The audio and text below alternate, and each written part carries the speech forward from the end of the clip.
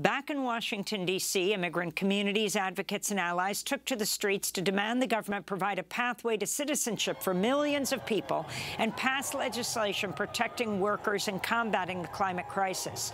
The march came two days after the Senate parliamentarian ruled Democrats could not include a pathway to citizenship as part of its reconciliation package. Millones de inmigrantes, día tras día, trabajamos para poder proveer un mejor futuro a nuestras familias, a nuestros seres queridos. Y somos fundamentales para la economía de este país. Y aún así nos vemos forzados a vivir en las sombras. Ya estamos cansados de vivir bajo el miedo de la deportación o que nos separen de, nuestros seres queridos. El poder tener un camino a la ciudadanía me cambiaría la vida, igual que muchos de nosotros que estamos hoy aquí protestando.